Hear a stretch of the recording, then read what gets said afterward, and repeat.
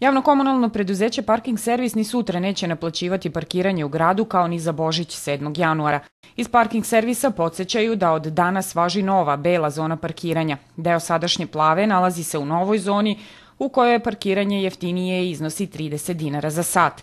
Po novoj organizaciji parkirališta, građanima na raspolaganju stoji 1152 parking mesta u beloj zoni, 1090 parking mesta u crvenoj i 5902 parking mesta u plavoj zoni. Parkirališta koja iz plave zone prelaze u belu zonu su ulica Miloša Bajića, kod železničke stanice, Hajduk Veljkova ulica, na platovu između stadiona Karadžorđe i Spensa, Radnička ulica, plato kod broja 18, Radnička ulica, plato kod broja 32, Vojvođanska ulica, Mičurinova ulica, između ulice Novosadskog sajma i Nikole Tesle.